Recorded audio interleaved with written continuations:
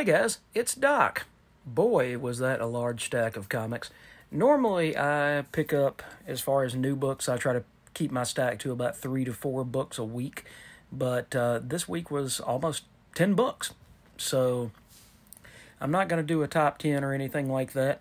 But let's go ahead and get started talking about these books because I've got a lot to talk about in a short amount of time.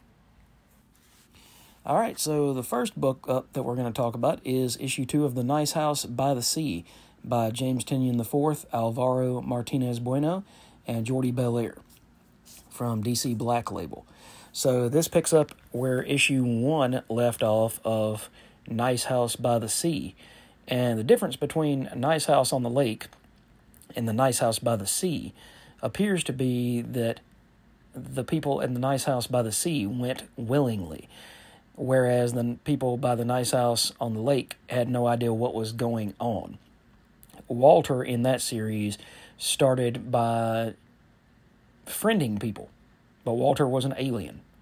And Walter ended up picking 10 people that he fell in love with over the course of his quote unquote life, you know, through high school, college, things like that. A life that was totally and completely fabricated. So um, you know, that one, that house was built on a lie. He did what he did because he loved those people, but that house was built on a lie. This house seems to be much more open, and uh, these people know what's going on to a certain extent, and they know that they were chosen, so they feel like they're special. Um, the artwork in this book is just as beautiful in a watercolor painted style as volume one, The Nice House on the Lake, was. So you always get a very clear sense of who the characters are. It gives you a breakdown in this particular issue of who the artist is, and then you have the pianist. You know, so you get an idea of who these characters are. You don't have to really guess, but at the same time, you do get a little bit of this exposition, you know, uh, Hickman esque sort of thing and then you get a dog show up and you're trying to figure out what the, the deal is with a dog because they never really had that before. So it gives them something to be centered on, it gives them something to, you know, love on in this case.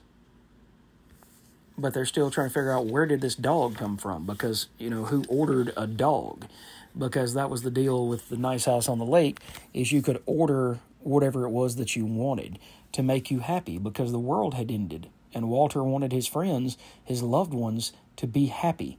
So they were able to order in um, the the one that always sticks out to me, of course, in in I think the first issue when they first started to understand what was going on, is uh, one of the characters' lists had a copy of Action Comics number one, parentheses the real deal, and uh, Detective Comics number 27, also the real deal, not a replica.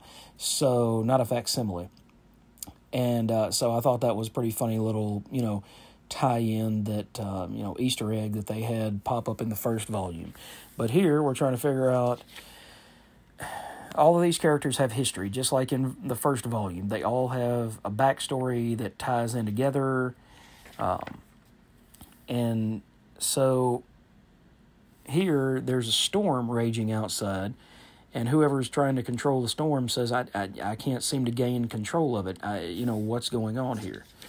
And so it seemed to be a vortex situation and these two characters here are going to go check out exactly what's going on with this freak lightning. So really a good strong solid issue with a lot of characterization and a lot of world building here that also harkens back and ties back in with Volume 1, The Nice House on the Lake. So I can't wait to read more of this. I hope to God there's not any breaks in the, the publishing schedule on this like there was in the, the first volume because I've gotten to the point where I'm uh, honestly I'm reading so much and I've, I've gotten older now so it's hard to follow those stories month to month to month whereas when I was reading uh, Spider Man and Thor and maybe Avengers back in 1998. it was easy to keep up with those because I was reading three to four books, and they were all superhero books, and they were large and bombastic, and it was just full of action and adventure each month. Now that I've started reading a bunch of uh, DC Black Label books and independent books, then it gets much more difficult to follow because these characters are not as one dimensional as superhero books can be. Now, I'm not saying they all are, but I'm saying as they can be. Speaking of independent books, we have issue four of seven of Grommets from Image Comics, written by Rick Remender and Brian Posehn, with art by Brett Parsons. So, this continues the story of 1985. And our main protagonist here gets a phone call, and it is a friend of his, Samra, and she's kind of hanging out at her house, her parents' house, or whatever, watching TV, watching uh, MTV, and she digs on him. She digs on uh, the main character. But as we see, as the story progresses, he gets he gets rather upset because he's going to he's going to move. His father is moving the family to Phoenix. And so he's just built these relationships with his friends and Samra likes him and there's so much going on. And now they're about to watch Escape from New York. So it's a slice of life from 1985. You've got you've got the punk rock guys over here and the skater boys and then you've got, you know, there's always like the cool older sister or the cool, you know, cousin and then you've got Samra here. And so these characters are all brought to life like I was just talking about. It's almost like they really existed. It's it's almost autobiographical rather than just being a comic book. Instead, this gives you a slice of life of what 1985 looked like. Um, VCR tapes were a big deal, um, and I never experienced that, but I had some friends, you know, in in college that had been army brats, and their mom or their dad or both had moved them around multiple, multiple times over the years. And it's hard to keep building relationships when you don't really know how long those relationships are going to be around for. It's hard to say, you know, well, this guy likes me or this girl likes me, and and you know, all of a sudden you're moving to a new city. So, the new, you know, the the main character here is trying to grow up he's trying to find his way in this world. And none of it makes sense. That's what I deal with a lot in psych is that sometimes I'm dealing with adolescents and they're just trying to find their place in life.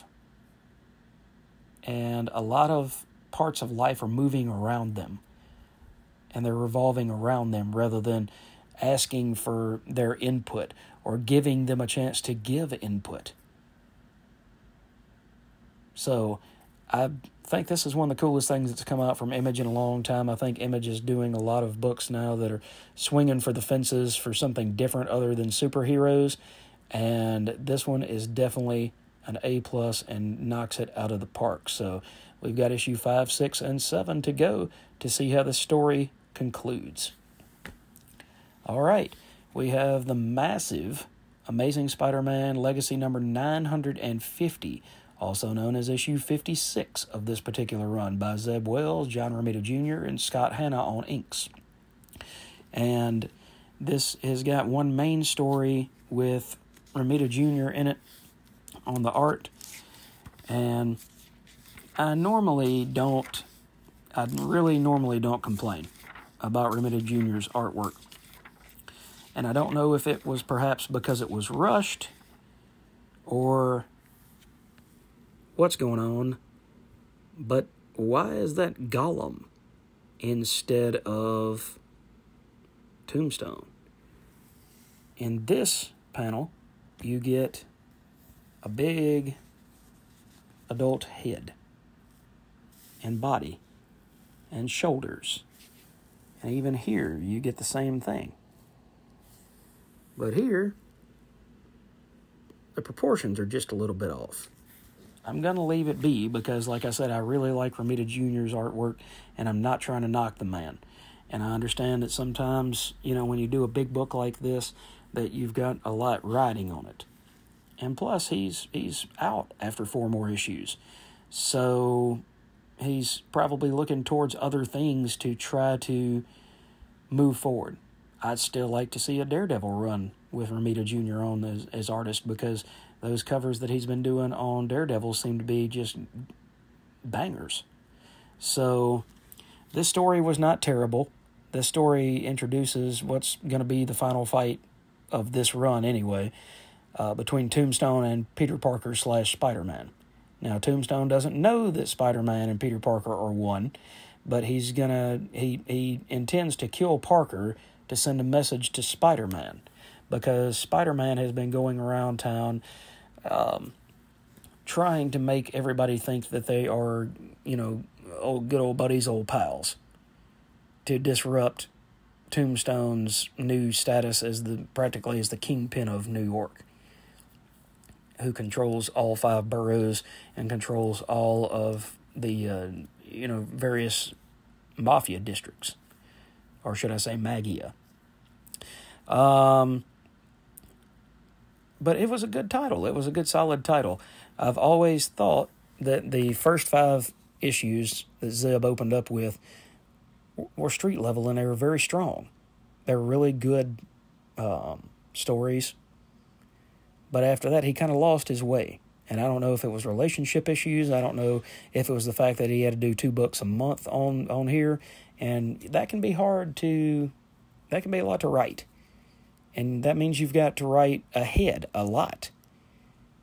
But that also means that you have to plot ahead quite a while out.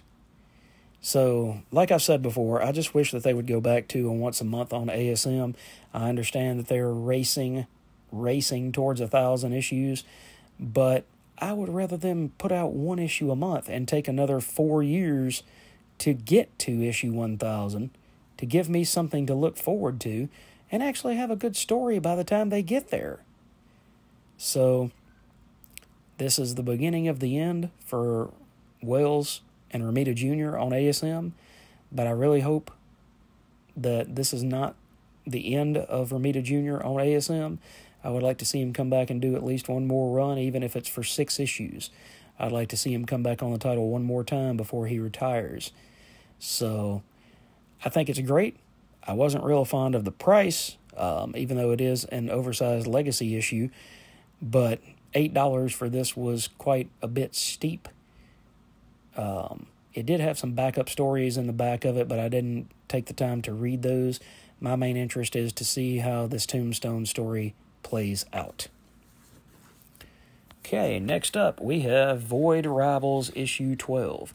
And the big shock thing that was going to be about this issue is that Salak and Solila, who are the main characters of this title since issue one, were supposed to go their separate ways.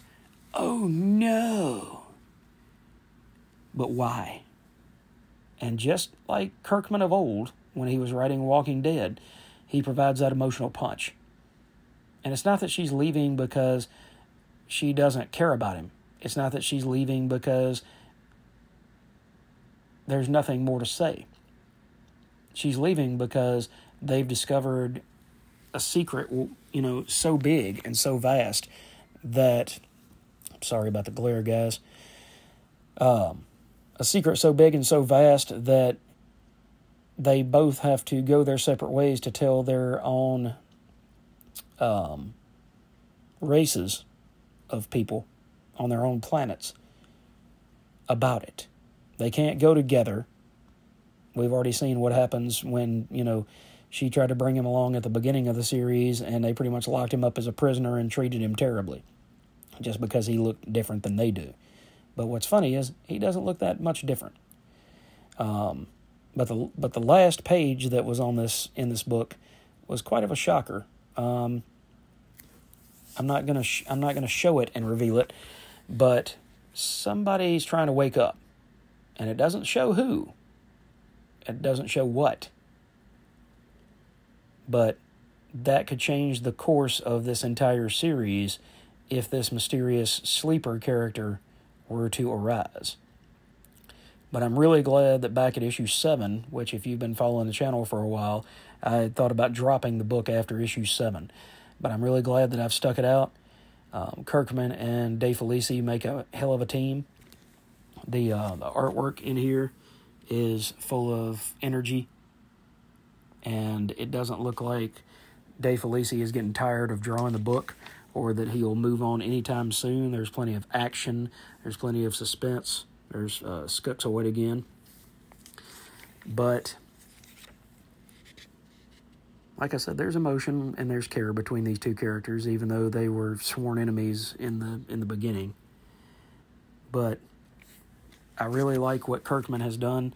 This book was meant to build the entire Energon universe of Transformers and G.I. Joe titles together, minus uh, G.I. Joe Real American Heroes, still written by Larry Hama. But this helps to build this universe into one that everybody can enjoy because we've seen Transformers in the series. We've seen two different new races now that we didn't know about that live in this particular universe and coexist with the Transformers. So I think this title is fresh as far as ideas and where it's going. So I'm in it for the long haul, and as long as Kirkman and Dave Felici want to work on this title, I'm definitely going to keep picking it up. Told you folks it's a big stack this week. All right, Ultimate X Men number six. We finally have, and this is by Peach Momoko as writer and artist. We finally have Armor confront the Shadow King. And he learns from the cult that he's pretty much a uh, part of, called the Children of the Atom, oddly enough. He learns how to control these shadows. He learns how to make people see what he sees, and more importantly, make them believe what he sees is their reality. So, and he made his mom happy, which that's kind of a really creepy image if you really think about it. But he's in shadow form. But that's his power. So you have, you know, Maystorm and Armor and the team, the loose, you know, ultimate X Men team going against this Shadow King figure. So it is nice to see a little bit of action in the book because so much of the original three or four issues of this, people were like, this is not X Men, this is just Peach Momoko telling some sort of weird anime story. It's just like Ultimate Spider Man, it has to build the world. You're building something from nothing. And so I really have enjoyed this title so far. There's a lot of people out there that didn't really give it a chance, I don't think. And I think that at the end of the day, they'll come to find themselves sad because they missed out on something that was really beautiful, really well thought out, and awesomely constructed. Because I think it's I, I think it's one of the best titles that Marvel is putting out in the Ultimate Universe, besides Ultimate Spider-Man at this point. So long live Peach Momoko on Ultimate X-Men. Okay, next up is the final uh, issue of the five-parter of shorts, you know, one and duns, talking about Erica Slaughter and Something is Killing the Children, issue 40. Again by James Tynion IV, Werther Dell'Edera as the artist, and Miquel Muerto. So the last, you know, from 36 through 40 has been showing the history of Erica Slaughter and who she is and some of the cases in short form that have made her who she is as a character herself. That's pretty cool coloring on that on that page. I like that. Um, But here she is talking to Aaron, and he's trying to explain to her, you know, hey, this is this is what created, you know, who I am. And so I'm going to move away from that panel at the bottom. But it was it was a harrowing thing. This particular issue, it was a lot of emotional baggage that she carries around from the people that she could save and the people that she couldn't save because monsters are real and the the real monsters are not always the ones that are hiding under your bed. Sometimes they're the ones that are supposed to be there to protect you. And it's not that kind of story. Don't don't get me wrong. But it's still the failure of a parent to provide proper structure and proper delineation for a child to grow up in a world where they're not afraid, where they find themselves with choices that they shouldn't have to make. Because as a child, you're supposed to be innocent. You're not supposed to have to carry the weight of the world on, on your shoulders. And there's the two cats fighting in the background. So that that proves well enough uh, to move along from something is killing the children. But hopefully, with issue 41, when that comes out, then we'll get a new storyline, and maybe it'll be another long form storyline, something like the Archer's Peak saga from the first 15 issues. All right, almost done, folks. We've got The Sacrificers, issue 11 by Rick Remender, with art by Andre Lima Araujo and colors by Dave McCaig this book continues to get stronger and stronger with each issue. Um, the characterization, the world building is just on another level. This kind of reminds me of the early days of The Walking Dead. You know, once they, you know, before they got to Negan, but before, you know, not not with issue 1, but I would say I would say in the early 20s you know, between 18 and 20 when they were in the prison. There's always there's so many interesting characters here. And you've got the God King here who is searching for his daughter and is willing to do anything to find his daughter, including making uh, this character here go out and do another round of sacrifices they they are forcing the people to do another round of sacrificing their children to the gods. So meanwhile, you've got Saluna here, not any relation to Solila in the other story, and she's got some sort of blackness within her. And she's befriended this little girl here.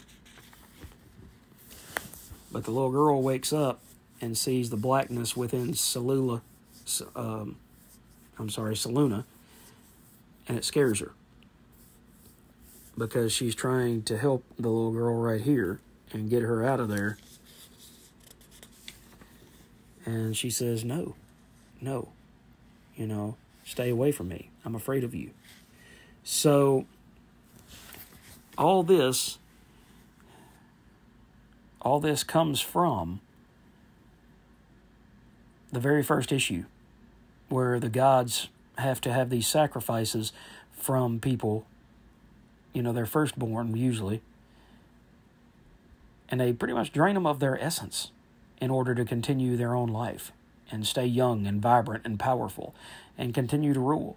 And that is the sacrifice of the title that keeps these elder gods in power and ruling over the the other classes. So the humans, um, then you see anthropomorphic, um, you know, animals and things like that in this book as well. But one of the most haunting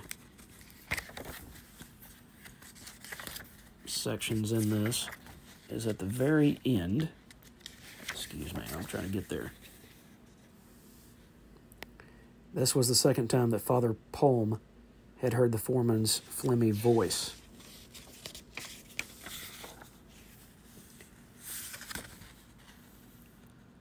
Second time he'd watched as one of his precious children were taken away from him.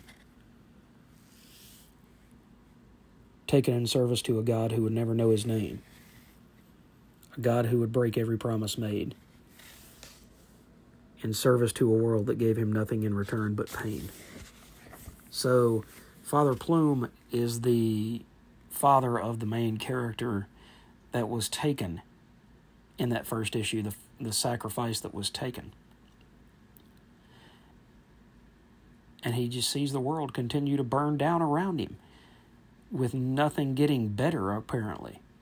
So, is the, you know, when they hit issue 12, is he going to act? Is he going to try to, to change the world as it is? Is seeing his daughter taken going to be what finally makes him stand up and stop being a simp for these gods? Is that what it's going to take to make him reclaim his manhood and fight for his family and fight for his children? And what's a stronger story than that? You tell me. All right. With Saga, we still have Hazel by Fiona Staples as the artist and Brian K. Vaughan as the writer. And she's still in the circus but she's made a friend of, let's see, who do we have here? Emesis. And Emesis looks, you know, kind of like a spider lady. So she's kind of cool looking. You got to remember this title is huge in both scope and magnitude. You you seem to get even 68 issues in, you seem to get new and interesting characters and life situations.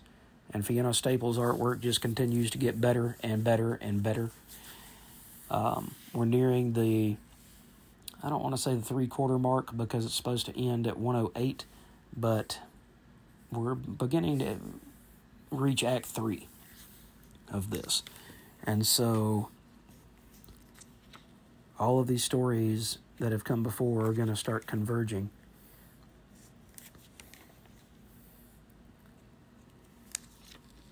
and Hazel is going to be right in the middle of them. So, see, things like this. She goes to touch her bangs, and she says, No, I'm, I'm sorry, I've got a thing about it when people touch my hair. That's the kind of thing that makes characters real. That's the kind of thing that separates them from uh, just a character on a page and brings them to life and breathes life into them. Um, little things like that. Um, knowing that somebody's got an, an innie or an outie belly button, or that a character has an extra toe, or that a character, you know, loved this other character that now lives uh, in Japan, you know, or on a different continent, and they go by a different name because they had such a bad breakup with the main character that they don't even want to acknowledge that part of their life. Something like that is what really brings a character to life. And as a you know, as a writer, that's what I enjoy the most is seeing these characters come to life and be bigger than life. So Saga, now that has now that it has returned, is one of my favorite books that comes out, and I'm not going to say every month because it does not, but when it shows up, it is a spectacle, and it is deserving of its own time. Okay? And the last book that we have here is White Boat Issue 2 by Scott Snyder and Francesco Francavilla from DSTLRY. So it's one of those larger format books. And this continues the story. Shocking. Shocking all here. This, can sto- this continues the story of Lee and Wade, who were brothers. That's cool artwork though. I like that. And Lee took the top bunk and his brother drowned in a boating accident years ago and he's always felt guilty for that. He's always felt like it was his fault that something like that happened. And these people that stole him away in the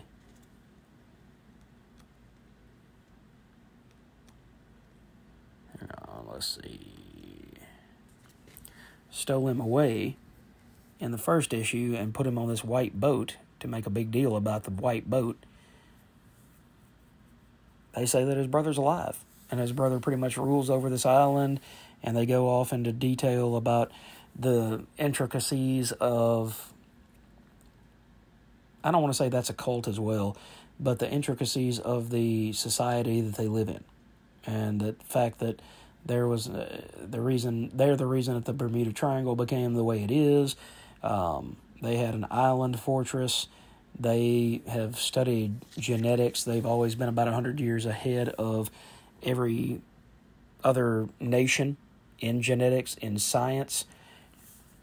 And the big revelation that comes at the end of this is white boat is more of a euphemism for what's going to protect you during a flood.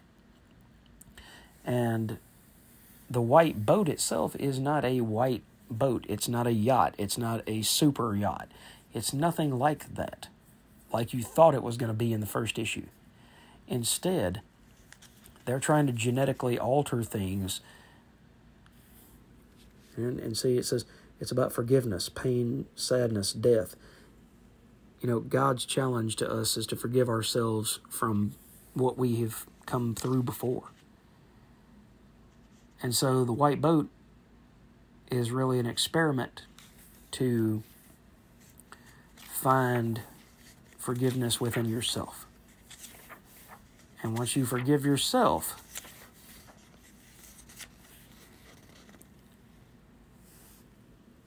in that moment, I knew that Ward forgave me and forgave everyone.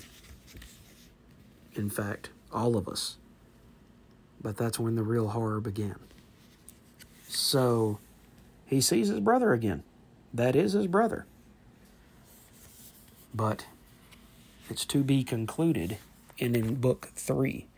It's a really quick read, but it's got a lot of depth to it, and I really dug it. Um, a lot of these DSTLRY books I've really enjoyed because the artwork, like I've said before in previous videos, is big and it it you know as I've gotten older, it's harder to look at little tiny panels. That's why I enjoy reading Kindle on my iPhone, but at the same time, sometimes I've got to blow the panels up to really get the detail of what's going on because the phone is much smaller than even a regular comic book page, which is much smaller than a DSTLRY page, which is much smaller than the original page that the artwork was created on. But um, that is one of the most fun books that I've read from DSTLRY so far. And like I said, I can't wait to see how part three of three concludes this particular story. So let's see. Let's put that stack right back there. And I do have two books that I've got to read here in a little while that I picked up as books for initial assessment. And that is going to be Universal Monsters Frankenstein issue 1 and Rob Liefeld's Deadpool team up, issue one from Marvel. But those books I'm going to talk about in a separate video, so I've got to read those separately from these.